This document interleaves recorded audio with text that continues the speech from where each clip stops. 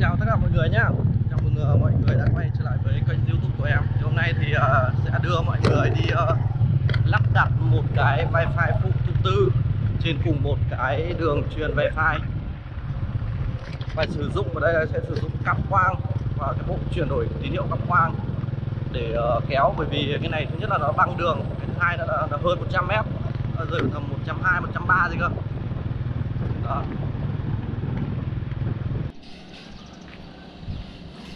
À, tại ờ, vì ở đây là nó có băng đường cho nên là mình phải ờ, dùng cái dây uh, cáp quang như này để đảm bảo được cái chất lượng của đường truyền. Nếu mà nó sai như này mọi người mà dùng cái dây cáp quang à cái dây lan dây lan dùng để chạy camera cũng được. Tuy nhiên cái dây uh, của cái dây camera thì nó khá là đắt tốn chi phí. Với lại độ bền thì nó cũng không không thể cao bằng cái cáp quang được cho nên sử dụng cáp quang cho những cái wifi nào nó xa khoảng ờ, hơn 100 m 100 200 3 400 m là đều sử dụng được hết. Cái này thông số thì nó giới hạn là 25 km nhưng mà chưa anh em nào cũng kéo được đến 25 m 25 km cả.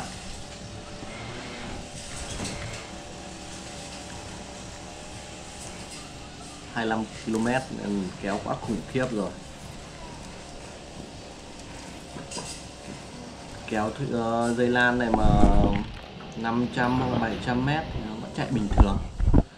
Tuy nhiên cũng chưa có hộ gia đình nào mà có nhu cầu mà lắp xa như vậy cả. Lắp xa như vậy chi phí rất là tốn kém.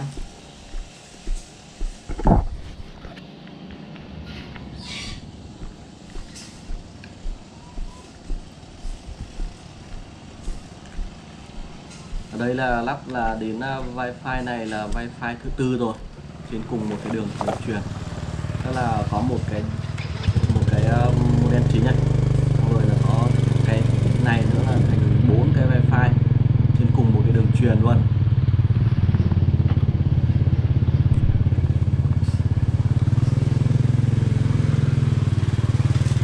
Theo cái nghề kỹ thuật này thì uh, trèo lên mái như này là chuyện bình thường đi giống như kiểu mèo ấy. đi rất là nhẹ nhàng Chào chưa? cái, cục cục wifi chính nó ở sát cuối nhà cơ. Bây giờ sẽ phải tuần đến gần cái modem chính. Tại sao anh em lại nhiều lúc là không muốn kéo nhiều cái wifi phụ? Thật ra ấy, thì um, kéo cái wifi phụ này nó chả có chỉ tiêu chi tiết gì. Nó chỉ có mỗi chỉ tiêu là bán hạ bán thêm wifi phụ thôi còn nó không được uh, tiền duy trì tức là mình chỉ kéo một lần như này sau này có hỏng hóc gì thì mình cũng phải đi bảo hành cho khách hàng. Cho nên tôi cũng rất ngại kéo những cái ờ, wifi lan như này. Mà trong khi đấy khách hàng sử dụng nhiều cái wifi ờ, wifi phụ ấy. thì nhiều lúc khách hàng này khách hàng kia họ cài đặt setup lại các wifi phụ dẫn đến cái tình trạng nó xung đột những cái wifi với nhau nó làm cho mạng chập chờn và cái khó khăn nữa là trong quá trình sử dụng ấy, mà nhà mà model chính mà nó mất tín hiệu chẳng hạn hoặc là khách hàng rút ra thì tất cả những cái vé phụ kia là nó mất hết chả còn gì nữa.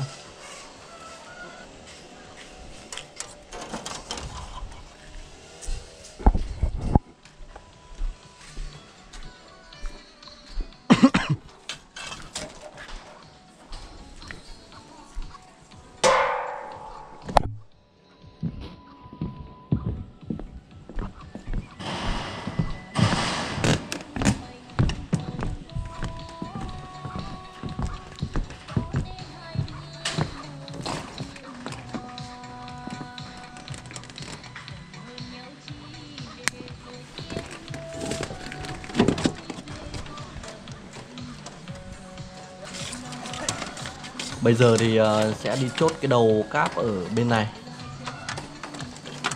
Xa như này thì ờ, chốt khoảng độ tầm 4, 4 điểm, à, 5 điểm chốt 5 điểm chốt Một cái hướng ra nhà bên kia Và một cái hướng uh, Từ đây chạy nhà... sang nhà bên kia này nó rơi vào khoảng uh, hai bộ bốn đây 150 một cái mét. hàng xanh xanh bên kia kìa. và Đấy, sẽ mọi người giúp thấy không? đến cái Xanh cái xanh đấy. quang này để đây bây giờ chúng ta sẽ chốt cái điểm này vào. Để nó cố định cái ờ, dây cáp. Nếu mà anh em nào mà không chưa biết chốt thì ờ, có thể dùng cái băng dính băng dính đen ấy xong mình sẽ quấn theo cái đường dây đi của người ta như này. Đó. để nó không bị trùng võng xuống đường. Nó đảm bảo được cái mỹ quan thôi. Đấy nhà khách màu xanh đấy mọi người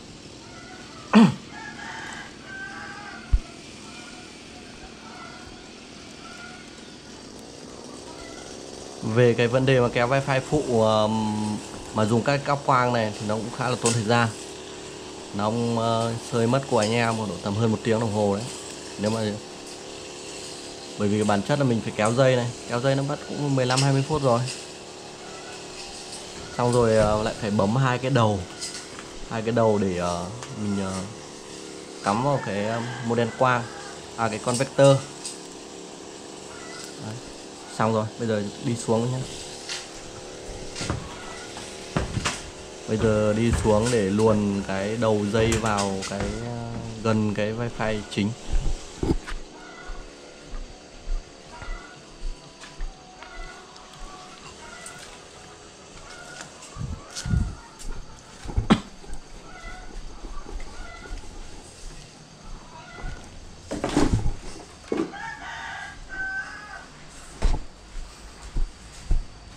Về cái cước ban đầu nếu mà chúng ta lắp một cái wifi phụ kiểu này ấy, thì cũng khá là tốn tiền đấy.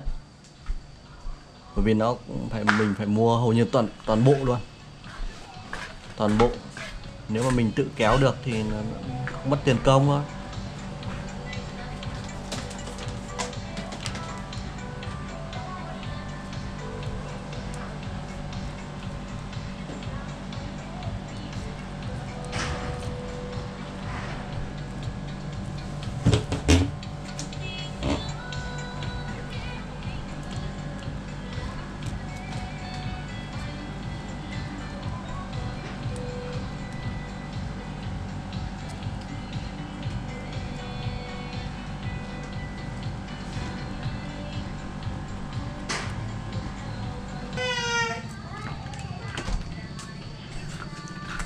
Thôi bây giờ bỏ đi, làm việc khác đã. Việc này tính sau đã. Tí nữa ăn tuần ra sau. Bây giờ đi đi sang đầu đầu bên kia để chốt cái cáp đã.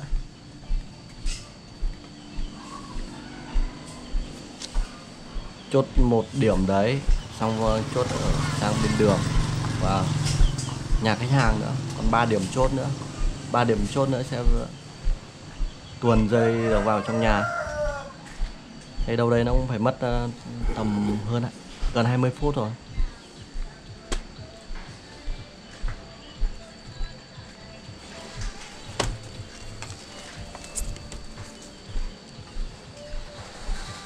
cái kéo wifi LAN này thì ờ, phụ thuộc vào cả hộ gia đình mọi nhé chứ mình không thể ép buộc họ phải dùng cái wifi mới. Họ có nhu cầu thì anh em vẫn sẽ triển khai cho thôi thời gian bảo hành thì nó thiết bị này thì Viettel bảo hành một năm hai năm hình như hai năm. Với cái um, model là model phụ là hai năm. Cái giá nó à, hơn 400 nghìn hơn 400 nghìn cái wifi phụ.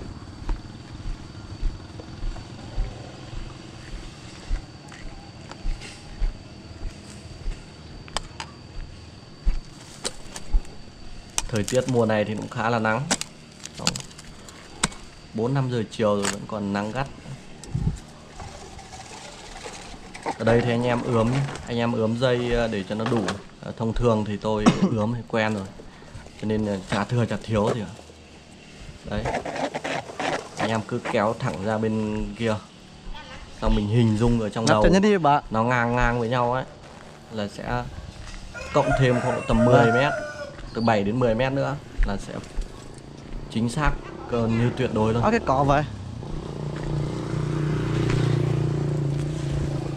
Ở đây nếu mà anh em nào không không biết chưa biết chưa biết ướm dây thì anh em sử dụng đến cái việc là chúng ta đo Google. Đo Google thì nó chính xác tuyệt đối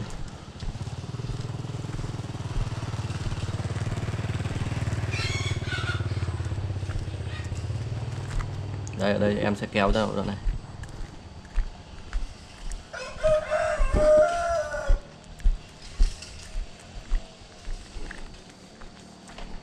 xong cắt dây. Cắt dây và chúng ta sẽ chốt ở trên cột. Xong chốt ở vào nhà nữa.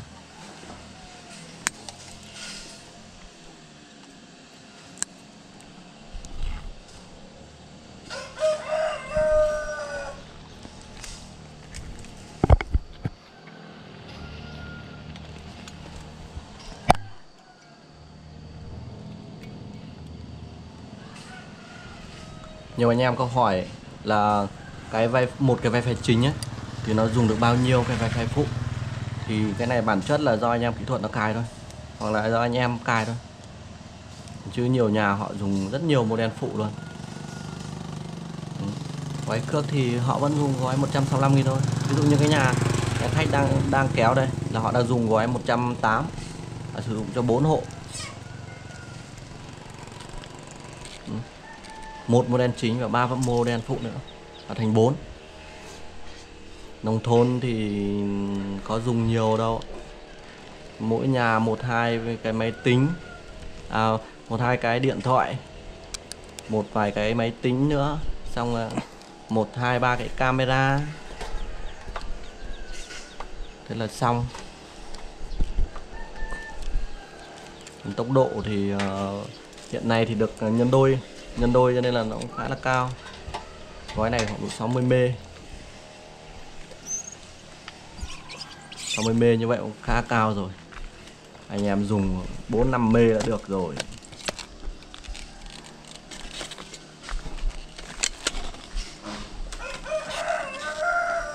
Đấy, bây giờ sẽ mang thang sang bên góc bên kia. Mang sang góc bên kia để ờ, chốt dây ở trên kia.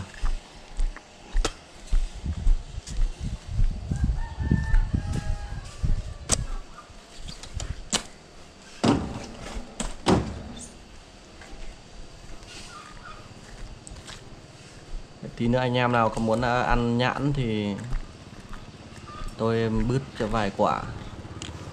Ăn tạm.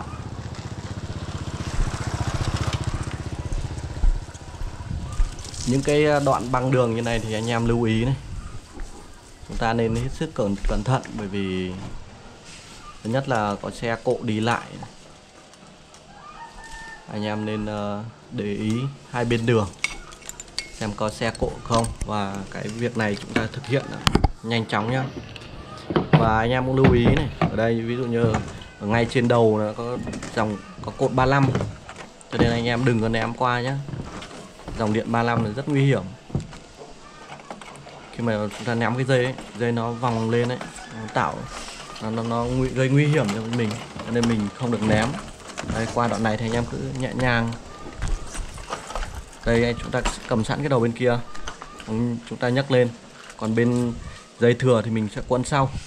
Quấn lên sau. Những cái điểm mà băng đường này thì anh em nên uh, băng cao nhất có thể nhé để tránh cái trường hợp mà nó bị uh, gặp sự cố.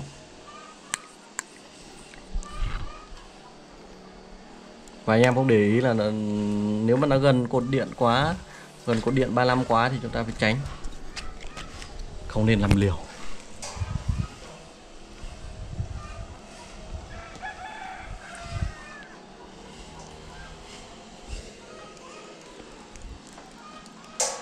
Đấy, bây giờ chúng ta bây giờ chốt nốt cái điểm này. Xong tuồn vào nhà. Như vậy là cái quá trình mà kéo dây đã xong rồi. Sắp xong rồi. Còn mấy tí nữa là, là xong. Sau đấy chúng ta bấm đầu cáp đầu đầu phát ở hai cái điểm của, điểm đầu và điểm cuối của cáp quang. Xong cắm vào cái bộ chuyển đổi tín hiệu quang. Xong cài đặt cái ờ, tên wifi với lại mật khẩu wifi nữa là chúng ta hoàn thiện hoàn thiện quá trình. Đó.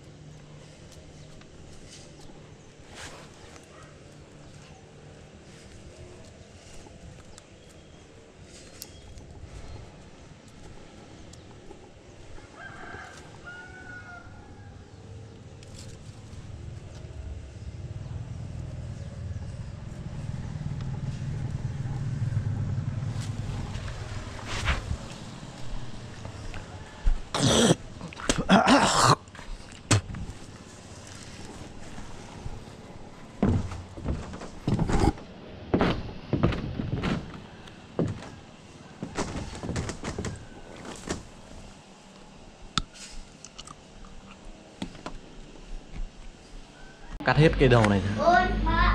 Đây, mọi người thấy không? Một, hai, ba. Ba cái đầu cáp quang nhá. Ba cái đầu cáp quang. Tức là có một cái đầu vào rồi. Một đầu cáp quang ờ, là tín hiệu vào. Còn lại hai cái này là chia cho hai nhà. Một nhà đang kéo đây. Và một nhà đã kéo rồi.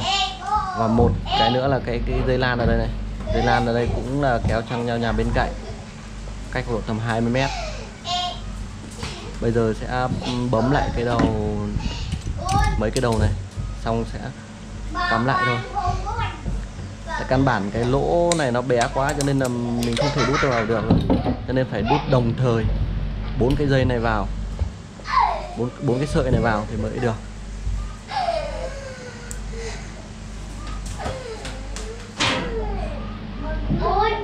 Đấy, bây giờ bấm bấm lại cái cái cái đầu cao thôi đây là đầu phát cũ của nhà khách hàng nhé. Lúc nãy mình cắt thôi. Mình cắt để mình bấm lại, tuồn lại cho nó dễ.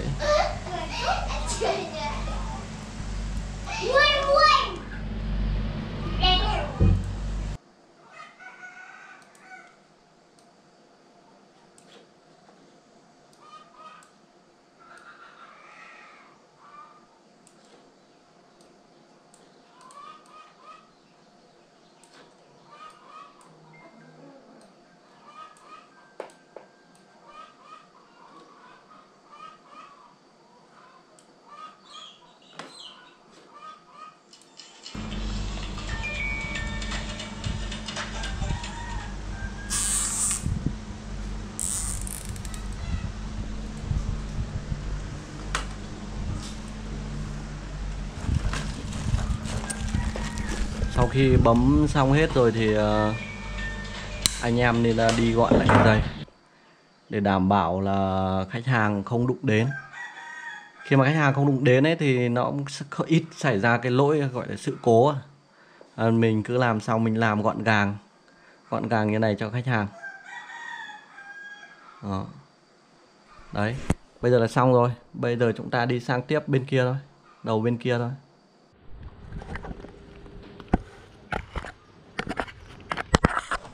Đây là cái đầu ờ, chuyển quang thứ hai này.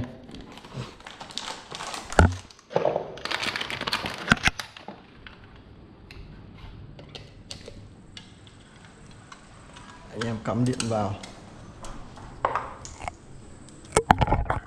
Cắm cái đầu quang vào.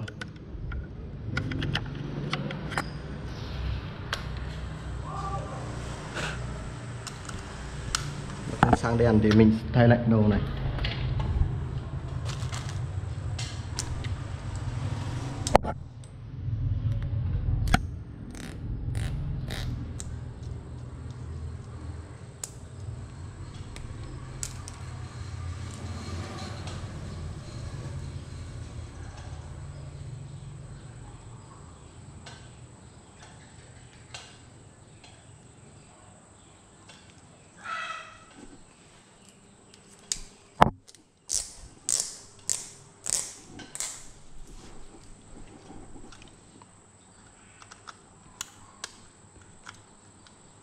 Nào mà sáng đủ ờ, sáng xem hai hai đèn nữa là ok này.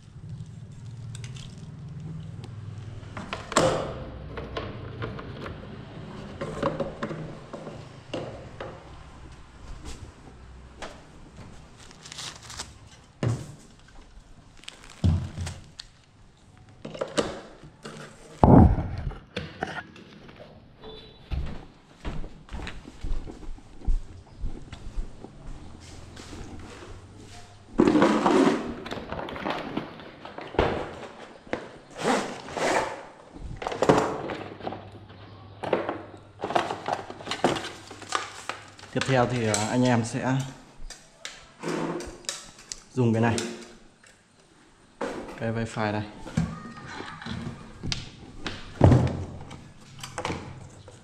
Cắm điện.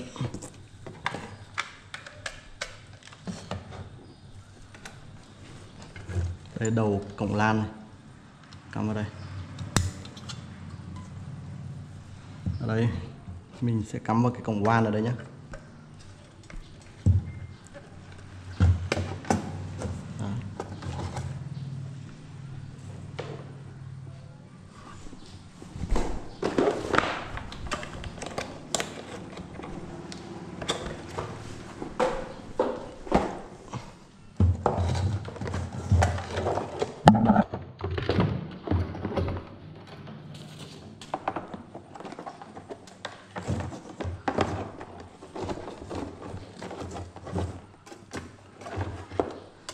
mà cái đèn à, cái đèn xanh này nó đứng im lại là nó đã cấp được mạng và chúng ta sẽ thực hiện cài đặt thôi.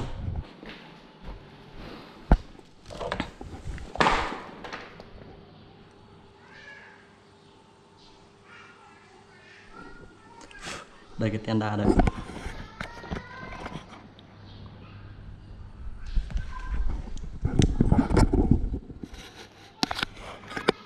Đây thì chúng ta sẽ đổi lại cái địa chỉ IP cho cái wifi đi. Ở đây là địa chỉ là chấm không chấm một.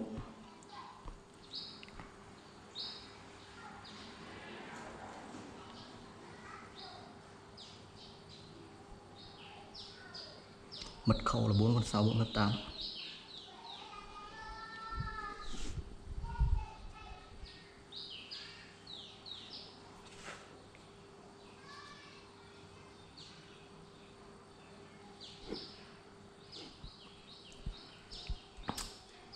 ở đây là tổng cái wifi này là lúc nãy là một dây lan này, một cái cục kia, một cái cục chính là ba rồi tổng ở đây là có bốn cái wifi rồi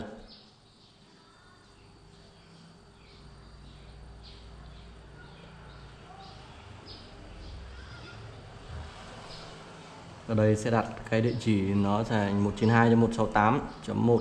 chấm à chấm 7 chấm 7 chấm 7 chấm 7 đi nhé 7.7 này. Ok. Đây sau đấy ờ, wifi nó tự ờ, reboot lại trong vòng một phút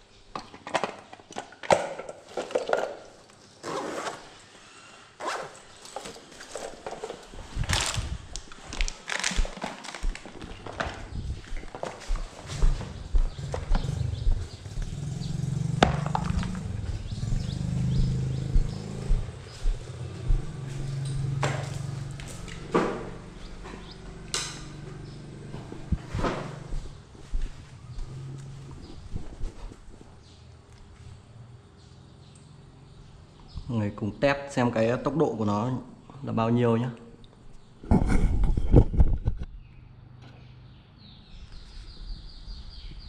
đây là cái wifi phụ thứ tư. Khách hàng lắp ở trên cái cùng một cái uh, wifi khoảng cách là hơn 150 mét. Ở đây đầu này 130 rồi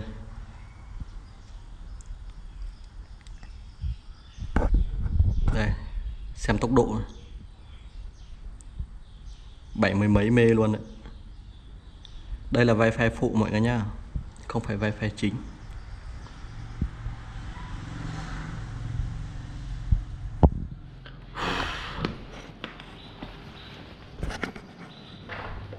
Đấy à, thì à, sau gần à, hơn một tiếng đồng hồ thì đã xử lý xong cái wifi phụ ở đây.